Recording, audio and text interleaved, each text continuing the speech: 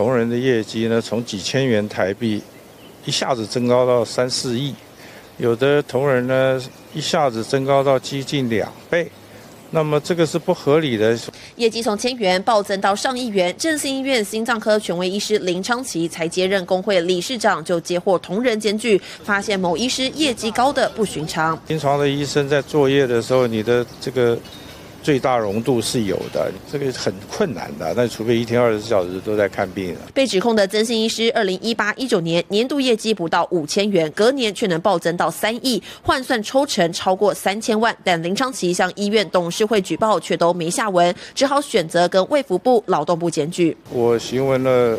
卫福部以后，他就认为我破坏院誉，记录一大过。没想到检举换来的是自己被惩处。院方解释，曾姓医师年度业绩是两亿多元，但开单业绩也不是分润。指控林昌奇造谣重伤，破坏医院荣誉，记一大过。年终奖金也被砍七万多，但他不满，再向劳动部申诉。调查后确定分润金额超过两千万，虽然数字有落差，但劳动部认定并非无中生有。不止涂销大过，也向医院开罚十万元。没想到林昌奇又被。开闸无所不用其极的找理由嘛，先射箭再画靶，目标就是要解聘，叫我六月三十号就解约，然后一天之内要搬这个办公室，一个月之内要搬宿舍。振兴医院发文，七月一号起停聘林昌奇，强调是严谨审查后，林医师个人行为不当才决定合约到期不续聘。如今双方也选择对簿公堂。进新闻。